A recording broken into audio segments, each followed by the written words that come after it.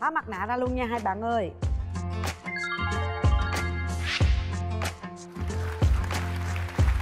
Chào hai bạn, và bây giờ thì chúng ta sẽ trò chuyện thật là lớn to rõ để cho hai bên có thể nghe được những thông tin của nhau nha. Em trai sẽ giới thiệu trước nè, em tên là gì? Em tên là Bùi Đức Hoàng, năm nay em ờ, 31 tuổi. Hiện tại ờ, em đang làm việc ở thành phố Hồ Chí Minh. Công việc của em là nhân viên giao hàng. ờ, quê gốc mình là ở đâu Quê gốc của em là ở Thọ Nghiệp, Xuân Trường, Nam Định. ừ, mình vào thành phố lâu chưa Xuống đây được ờ, hơn 2 năm rồi. hai năm rồi mình đang sống với ai ở gò vấp Ờ, em ờ, ở một mình thôi. làm công cái công việc là giao hàng lâu chưa Em bắt đầu làm từ tháng 10 2019 đến giờ. điểm mạnh điểm yếu của em như thế nào Ham học hỏi á. Việc gì em cũng có thể học được. Điểm yếu của em là giao tiếp kém, thủ ra hơi dai, thủ ra hơi dai, hả? Thủ hơi dai. thù hơi dai? Trời ơi về cuộc đời đã thù nhiều người chưa? Em là ít giao tiếp về bạn nam nên là về nam thì không có thù. vậy là nhưng có mà thù chỉ nữ. có nữ là do về chuyện tình cảm là có thù nhiều ấy.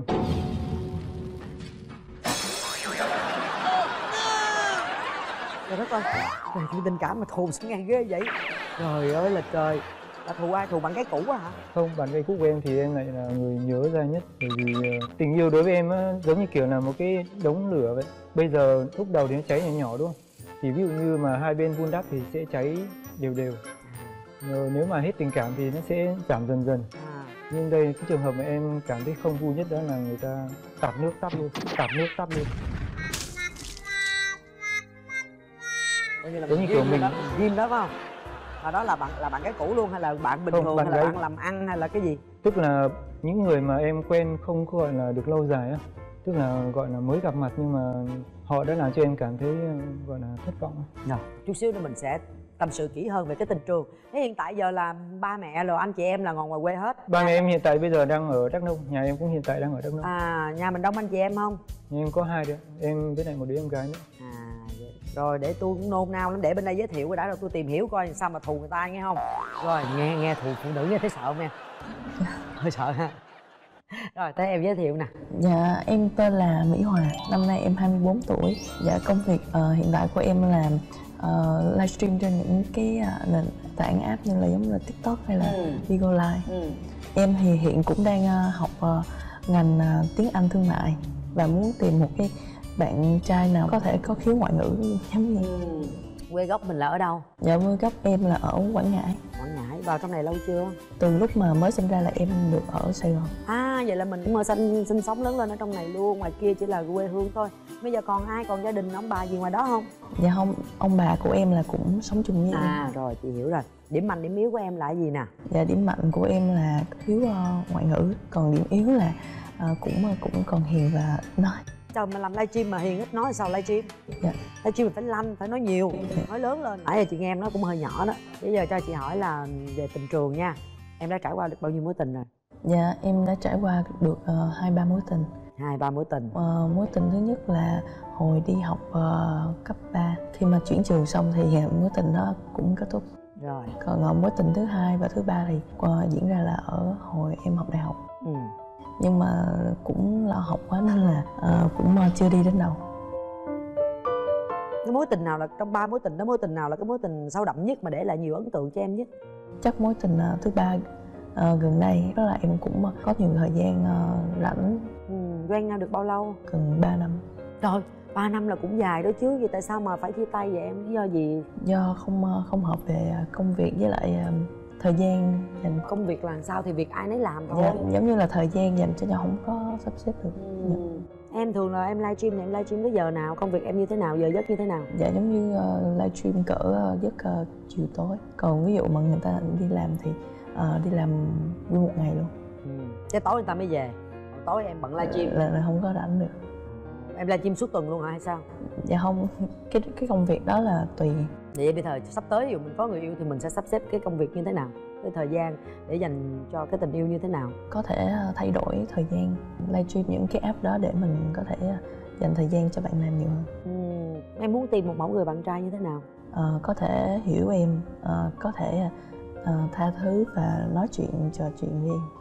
Về ngoại hình có yêu cầu gì không? Ờ, ngoại hình thì không cần quá cao hay là quá thấp ờ, nhưng mà vừa vặn đầy đặn là được. Ừ. ok rồi bây giờ tới cái tình trường của em nè. Chỉ có một mối tình ờ, gọi là sâu đậm nhất quen từ ờ, 2010 mà đến tận ờ, 2018 em mới gọi là bỏ. Trời ơi 8 năm luôn. Quen nhau chính thức thì là được 2 năm. Giống như kiểu do duyên số nên là muốn gặp nhau một lần mà cũng khó. Là tức sao? là cứ hễ mà mỗi lần muốn hẹn gặp nhau là có một cái vấn đề gì đó xảy ra là ngăn cản cụ thể cụ thể. Hồi em quen là em còn đang đi ờ, bộ đội á. Ừ. Quen nhau ờ, nói chung là cũng được hơn một năm rồi đấy. Đợt đó là em đang học ở ngoài ờ, Đà Nẵng học ở trường quân sự ngoài Đà Nẵng. Hôm đó cũng là chủ nhật mà công ty của cô ấy là chở nhân viên đi du lịch á.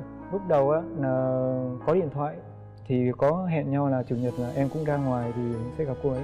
Nhưng mà đúng cái hôm thứ bảy tức là hẹn nhau hôm thứ sáu thì hôm thứ bảy là đột nhiên đơn vị kiểm tra quân tư trang á nên là điện thoại bị tịch thu luôn. Nên là cuối cùng không liên lạc được rồi cũng không gặp được nhau. Ừ.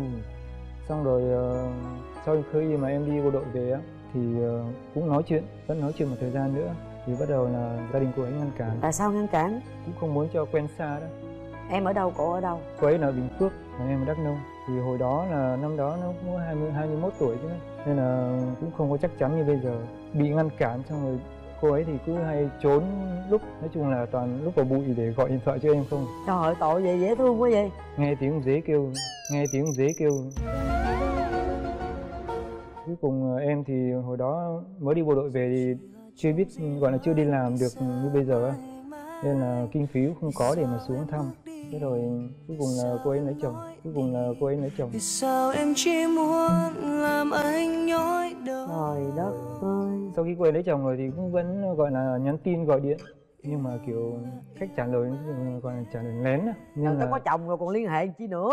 Người ta có chồng rồi còn liên hệ chi nữa. Thì thấy người ta vẫn gọi được thì em cũng nghĩ là chắc không sao. Thì ờ, cứ nhắn tin gọi điện vậy nhưng mà mãi về sau này em thấy càng ngày càng có vẻ khó khăn hơn. Nên là em bảo thôi. Vậy mà cô ấy vẫn nhắn tin hỏi là tại sao vậy? Nhưng mà em không trả lời tiếp nữa. Ừ.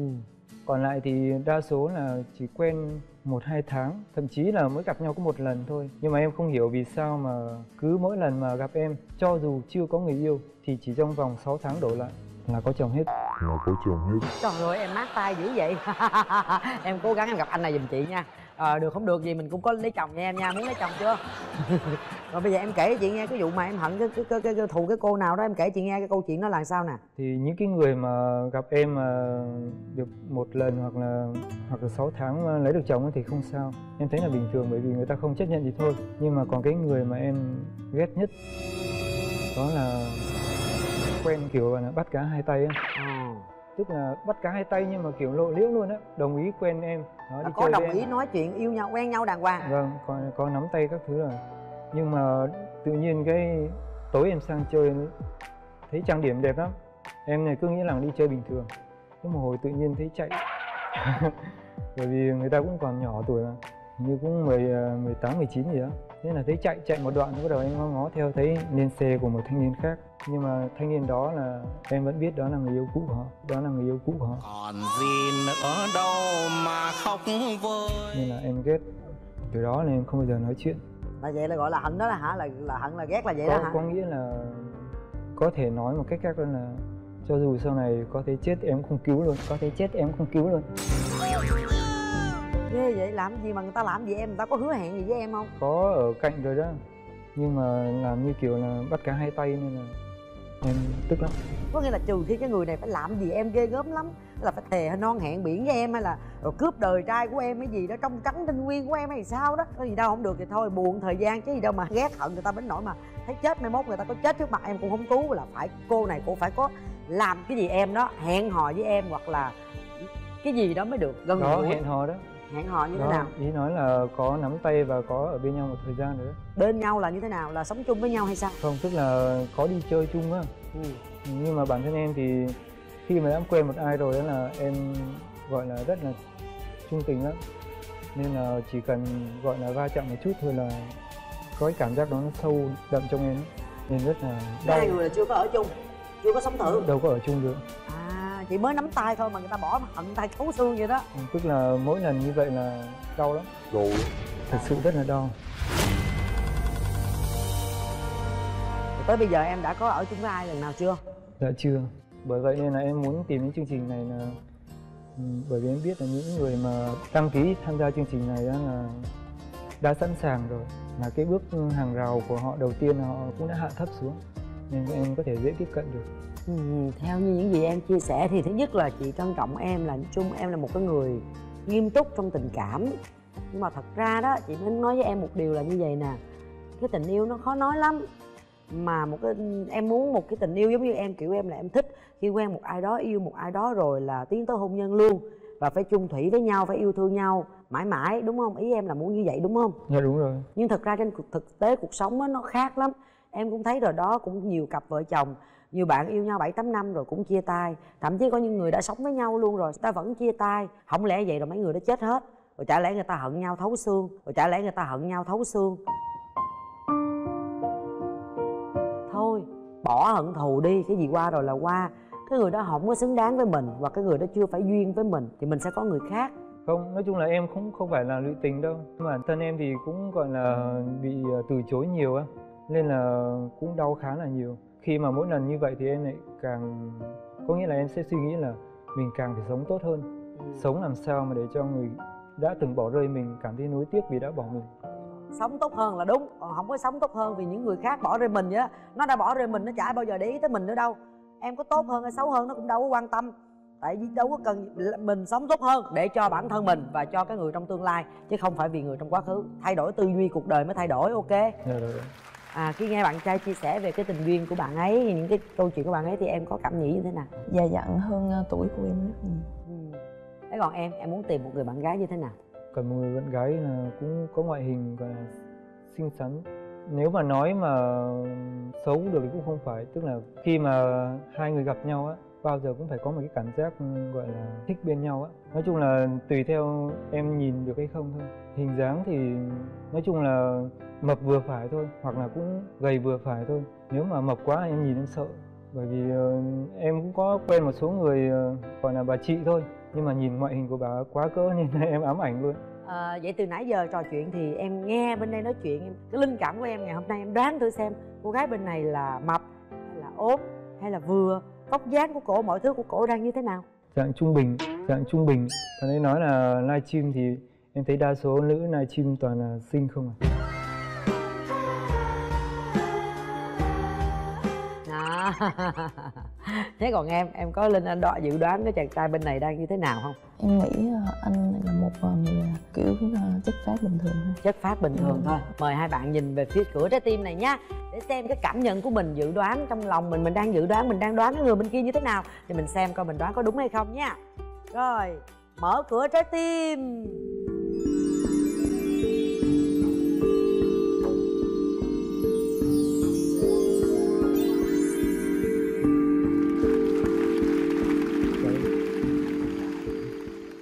quà tặng em Dạ, cảm ơn. Dạ, em cũng có món quà ơn rồi. em bây giờ mình khui quà thử xem nào có ý nghĩa của món quà ngày hôm nay là gì nào rồi cứ khui ra đi em. Ờ, một bó hoa hồng. Hoa này là hoa sáp đúng không em? Tại sao em tặng bó hoa cho bạn gái? Bao giờ muốn tặng bạn gái cũng phải là tặng hoa chứ. à chọn em rồi khui quà bạn gái thử xem. Rồi. Ồ mà sao là tới hai cây bút? Cây bút là khi mà mình có thể dùng để đi ờ, ký hợp đồng với mấy cái đối tác Thế là cũng chúc bạn ấy thăng tiến hơn, tốt hơn trong cái công việc ha Rồi cho cho chị hỏi khi mà cánh cửa trái tim này mở ra Thì cái cảm nhận đầu tiên của em như thế nào? thì ờ, cảm nhận đầu tiên của em là có vẻ như em đoán đúng luôn cũng gọi là vừa phải và trung bình ấy. Rồi còn em, khi cánh cửa trái tim này mở ra Cảm xúc đầu tiên của em là như thế nào? dạ em thấy anh này cũng ờ, khá là chững chạc dạ nhưng mà cũng cần phải có thời gian. Đúng rồi. Mình mới tiếp xúc mà. Không? Mình phải trò chuyện thêm. Và thậm chí 30 phút ở chương trình cũng không đủ để chúng ta cảm nhận đâu. Nếu như mà chúng ta có một chút xíu gì đó cái duyên với nhau hoặc là mình cảm thấy có chút cảm tình thôi với đối phương thì mình phải cho cơ hội. Rồi sau chương trình mình tìm hiểu nhau nhiều hơn nữa chứ còn ngay tại chương trình thì nó cũng chưa nói lên được điều gì. Rồi để cho các bạn có thể có thời gian riêng tư trò chuyện thêm với nhau một chút xíu. Bây giờ chị tường mời hai bạn sẽ cùng thưởng thức một bữa ăn của chương trình. Và trò chuyện thật là vui vẻ với nhau nha em hiện tại là đang ở khu vực nào ở thành phố Hồ Chí Minh? Dạ em ở khu vực ờ, quận phú nhuận. Cách cũng ờ, có mấy cây thôi cho anh hỏi này nhé khi mà em đăng ký chương trình này á thì ờ, có biết là em đã xác định rằng là sau này mình sẽ tiến tới một cuộc hôn nhân lâu dài chưa? À, cái này em cũng chỉ đăng ký để ờ, tìm hiểu. Tất nhiên là phải tìm hiểu trước rồi. Nhưng mà ý anh nói là ý anh hỏi là mình đã gọi là có xác định chưa? Ừm, cái đó em nghĩ là cỡ thêm một hai năm nữa một hai năm. Bản thân anh thì uh, em biết là anh là nghề gì đúng không? Ừ, thì uh, nói thật sự thì cái nghề này của anh á là cũng gọi là làm uh, cũng không phải là duy trì lâu dài. Kế hoạch của anh thì uh, nó muốn gọi là tiến tới một cái nó vững chắc hơn. Thì uh, nếu như bây giờ anh thấy nghề em thấy nghề của anh thế này thì uh, không biết là em có đồng ý không? Ờ, công việc bên uh, Shopee em thấy cũng uh, cũng khá là phổ biến cho nhiều người đúng rồi. Thì ờ, em có gọi là thấy cảm thấy là công việc này nó không chắc chắn hay là thu nhập thấp hay là gì đó? Ờ, dạ không. Cái bên Shopee thì em nghĩ là ờ, thu nhập ổn định. Nói thật ra thì ờ, nghề này là anh cũng chỉ gọi là làm gọi là kiếm thu nhập bình thường thôi. Còn sau này là nếu như mà có gia đình thì phải kiếm một đường khác chứ không thể kiếm được ngày mãi được. Rồi Trời tôi ở ngoài mà tôi ráng tôi lắng nghe tôi không nghe được cô này nói cái gì luôn á. Anh này nói tôi còn nghe bên đây tôi nghe không được luôn. Hôm nay em đi tham gia chương trình mình đi với ai? Dạ em có tham gia với ba và mẹ em à có ba và mẹ luôn. Em đi với ai? Em thì ờ, do mở dốc quá nên là chưa mời em gái đi được. À ở tụi mình ở trong này một mình mà đúng không? Rồi vậy à, các tường xin mời cô chú vô trong này luôn à Dạ, Thế chào hai bác ạ. Hồi nãy giờ ngồi ở ngoài thì mình cũng nghe hai à, cháu hai em trò chuyện với nhau. Thì không biết là cảm nhận của anh chị như thế nào ạ trong cái buổi à, gặp mặt ngày hôm nay? Sơ bộ thì nhìn thấy thì chắc có vẻ là ừ, thấy hai bạn chưa có chưa có tươi tương tác tốt. Thì à, biết đâu chương trình này xong rồi sau đó thì cũng là làm bạn để có thêm người ta gọi là thêm bạn bớt thù cái đó là nó càng nó Dạ, tốt đó dạ. trong cuộc sống. Dạ. chứ còn nếu mà về nói chấm liền bây giờ thì thấy chưa. Bản thân mẹ là chưa thấy chưa thấy chưa ổn lắm rồi bây giờ ba nè đàn ông nè. Đó, thì đàn ông với đàn ông nè anh nhận xét như thế nào? À, đứng góc độ là phụ huynh cũng à, quan tâm. Là tương lai của con gái. Thì nếu mà có một cái à, người tương lai à, biết chăm lo quan tâm thì à, cùng nhau mà tiến tới à, một cái gia đình tốt đẹp thì à, đó là điều mong ước. Dạ. À, còn bây giờ nhận xét về à, bạn à, nam á thì à, thật nhìn là thấy à, vóc dáng cũng ok. Dạ. Rồi cũng à, thấy cũng chịu khó thậm chí xa quê hương để à, lập nghiệp. Lập nghiệp à, mưu sinh lập nghiệp. À, nhưng mà nói về chấm á, thì à, chắc cũng phải theo cái duyên và có thời gian. Không biết là mình là một người cha một cái người đàn ông trụ cột trong gia đình có một đứa con gái như vậy thì cái tiêu chí để anh chọn rể thì anh có đặt ra cái yêu cầu hay là cái chuẩn mực gì không? Con gái mình nó cũng hiền thì cái mức độ năng động để gọi là giống như nhiều người xung xáo trong xã hội để làm việc mà tích cực như đó. Thì có khi cũng ở mức độ mình không có mong đợi con rể yêu cầu cao quá thì cái chân tình là quan trọng nhất. Dạ. Tại vì à, thời nay không phải là mình à, nghĩ bi quan nhưng mà những đứa trẻ những bạn nam trẻ trẻ đó cũng à, hay vì cái phút chốc hay là trong ngắn hạn trong cái mối liên hệ nó nó không được bền vững. Thì cái điều đó là là cũng à, đáng quan tâm dạ. Đó, cho nên là à, ở đây có cái chương trình thì cũng cháu muốn thì cũng cũng tạo điều kiện thôi còn thật ra cũng phải có thời gian để cân nhắc. Dạ. Rồi cảm ơn anh chị rất là nhiều ạ. Rồi mời anh chị xuống dưới ngồi xem tiếp nha. dạ dạ. Rồi để cho hai bạn có thể hiểu nhau được nhiều hơn nữa thì chị trò chuyện thêm một chút xíu nữa nha. Hồi nãy chị ra ngoài chị cũng không nghe hai bạn nói được gì nhiều luôn. Bây giờ chị sẽ hỏi các bạn một câu một cái chủ đề thôi. Ví dụ như bây giờ mà mình lấy nhau đi ví dụ mà mình lấy vợ lấy chồng nhưng mà bây giờ su gia quan trọng, ba mẹ hai bên mà rủi như có cái gì đó nó hơi xung đột với nhau một chút, mà dẫn đến là cái sự bất hòa, làm cho hai con cái không có được. Cái này ngoài thực tế có nhiều lắm nè. Thì bây giờ mình, trường hợp mình là con ở trong nhà, mình là con rể hoặc mình là con dâu, thì cương vị của mỗi bạn, các bạn sẽ xử trí như thế nào? Bản thân em thì suy nghĩ thoáng lắm. Tức là nếu như ba mẹ giận nhau thì em vẫn cứ để cho ba mẹ giận. Bởi vì coi như là em cái quan trọng em là vợ chồng của em thôi. Chứ còn ba mẹ giận nhau thì nếu mà không đến thăm nhau thì biết làm sao được. Chỉ cần coi như là em đến thăm ba mẹ vợ hoặc là vợ của em đến thăm ba mẹ em là được rồi. Nếu mà hai, hai bốn ông bà mà giận nhau thì thì đúng là em cũng đâu biết làm sao được. Nhưng mà cái quan trọng nhất ở đây đó là vợ chồng em thôi. Vậy thì em phải trò chuyện với vợ nhiều hơn để tìm ra cái giải pháp làm sao chu toàn báo hiếu cho hai bên thăm nom chăm sóc chứ không để cái chuyện của bố mẹ mà làm ảnh hưởng cho cái tình cảm hai vợ chồng. Đúng rồi chỉ có ví dụ như em đến thăm cha mẹ vợ cũng được rồi. Ý kiến ảnh vậy em thấy sao? Dạ, em thấy cũng hợp lý. Thấy cũng hợp lý mà nói không được. Người ta nói thì thấy cũng hợp lý.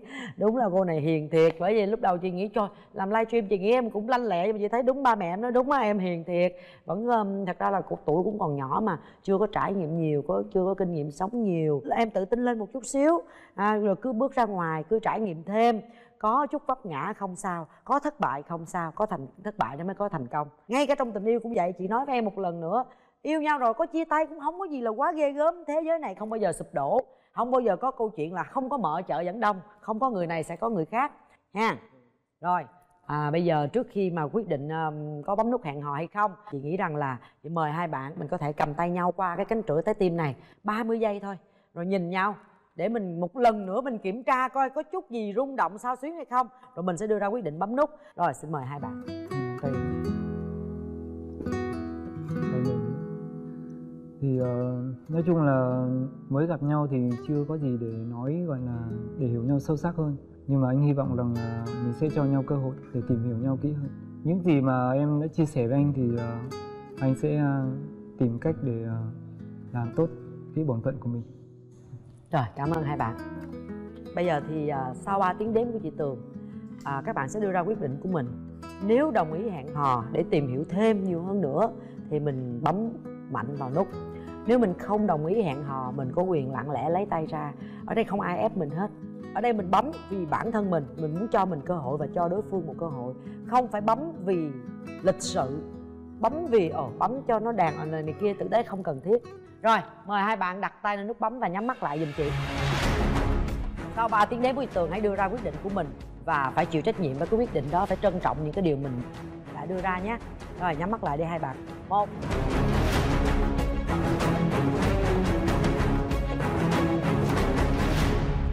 Cần một người bạn gái là cũng có ngoại hình và xinh xắn xấu được thì cũng không phải. Tức là khi mà hai người gặp nhau á bao giờ cũng phải có một cái cảm giác gọi là thích bên nhau á. Nói chung là tùy theo em nhìn được hay không.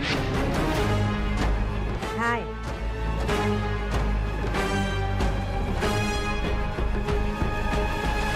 Khi mà em đăng ký chương trình này á thì uh, có biết là em đã xác định rằng là sau này mình sẽ tiến tới một cuộc hôn nhân lâu dài chứ?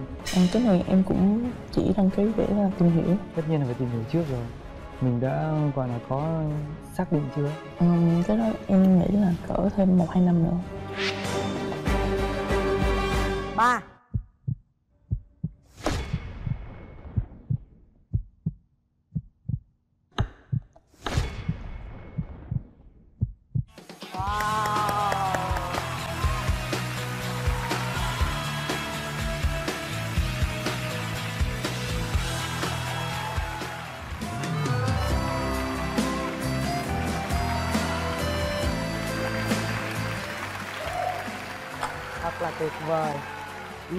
em đừng giận chị nhé chị hỏi thì em đừng giận chị nhé vì chị là người lớn chị nghe ba mẹ em chia sẻ thì chị cảm thấy có cái vẻ là ba mẹ em không thích em bấm. Tại sao em vẫn bấm? Dạ. chị nói thiệt. Tại sao em vẫn bấm? Sơ bộ thì nhìn thấy thì chắc có vẻ là ừ, thấy hai bạn chưa có chưa có tương tương tác tốt. Chị rất là trân trọng chị rất là nể kiểu em. như là muốn ờ, làm bạn trước thôi chứ Ừ. không phải là tiến tới xa. Ừ đó một cái cơ hội cũng như là cho bản thân mình. Tại vì cảm xúc của mình thì là mình sẽ tự quyết định. Em mặc dù hiền nhưng mà chị thấy em cũng là một người rất là bản lĩnh và chị rất là trân trọng. Còn em là phải trân trọng cái cái cơ hội ngày hôm nay. À, bạn ấy rất là nghiêm túc khi đến với chương trình thì mới đưa ba mẹ đến cùng. Và chị thấy em cũng là một người rất tử tế và rất là nghiêm túc bởi vì em rất là à, đặt nặng cái vấn đề về tình cảm. Em không đùa giỡn với tình cảm.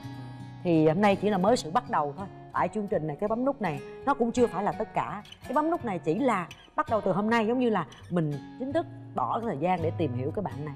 Còn cái tình yêu nó có vun đắp được hay không là do các bạn. Ok rồi mời hai bạn qua đây. Rồi hai bạn nắm tay nhau nhé. À, chị tường à, chúc mừng cho hai bạn ngày hôm nay. Chúc cho hai bạn sẽ có những cái khoảng thời gian tìm hiểu và hẹn hò nhau rất là thú vị. Rồi chị tường thay mặt chương trình gửi tặng bé món quà nha và chương trình ngày hôm nay, các bạn ấy đã thành công rồi thì chương trình sẽ dành tặng cho hai bạn một phần quà đó là gói Ruby của Speak Couple, ứng dụng hẹn hò và giữ lửa tình yêu, không chỉ với những người độc thân đâu quý vị, mà với những cặp đôi thì Speak Couple cũng sẽ có rất là nhiều tính năng hấp dẫn giúp cho các bạn yêu và hiểu nhau nhiều hơn và quý vị ơi, nhớ đón xem chương trình Bà mối hẹn hò nhé. Chương trình được phát sóng vào lúc 17 giờ 40 phút thứ sáu hàng tuần trên kênh HTV9. Mọi người nhớ đón xem chương trình Hẹn ăn trưa. Chương trình được phát sóng vào lúc 18 giờ thứ sáu hàng tuần trên kênh YouTube MCV Media. Và một lần nữa, cảm ơn ứng dụng hẹn hò và giữ lửa tình yêu Speak Couple đã đồng hành cùng với chương trình. Bây giờ thì các tường xin chào và hẹn gặp lại quý vị.